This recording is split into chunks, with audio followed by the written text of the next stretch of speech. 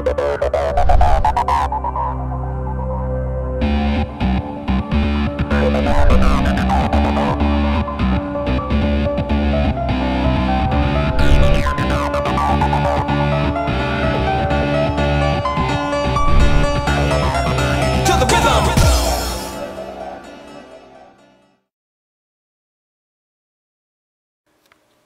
hello guys, welcome to Mr. Jefferson 105. On today's video, I'm going to be showing you how to do art shadow detector. The time I'm a moment is off, well switch it on.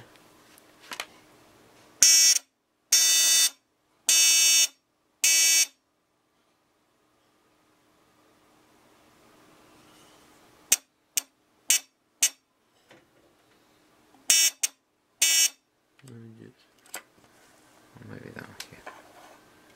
It's because it's not enough light.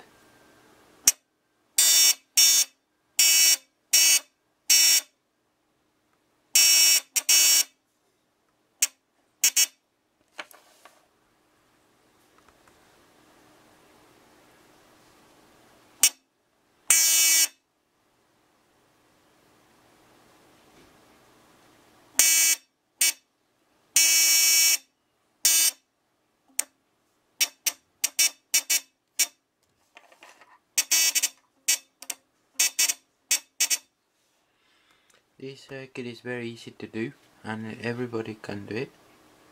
It shouldn't be a problem to anybody.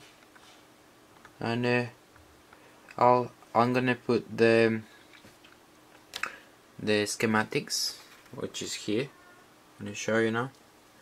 Pause the video and have a look at the schematic. That's roughly what the schematic looks like.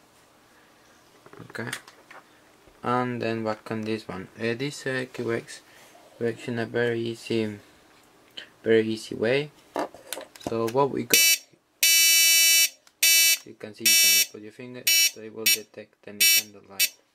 Okay I'll switch it off for a minute so I can explain what's going on. So what we got here right? We got we got the that's pin 1 in this side this is pin 8 positive is in here the green one is positive and I have a grey one. A wire that is grey on that side sorry about the, the, the block of the light. That one that grey one is going to pin 1 to negative. And then you can see in the schematics after if you want. But it's very easy. This kind of circuit can be used in many ways. I use it to prevent my brothers or my, and my sister to come when they come in, into my room. So because I normally take my when I'm when I got my light on then I normally put it on the floor. As soon as they cross or they open the door then this will go off. Here it is the device in action guys. I'll show you. I'll zoom out so you can see. That is the door. Now I'm gonna move in. Flick the switch on and open the door.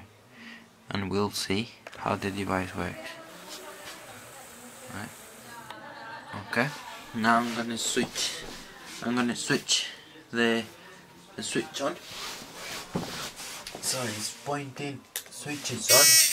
Switch is on. Now I need to open the door. Hold on. Okay. One second. Let me open the door and you will see going off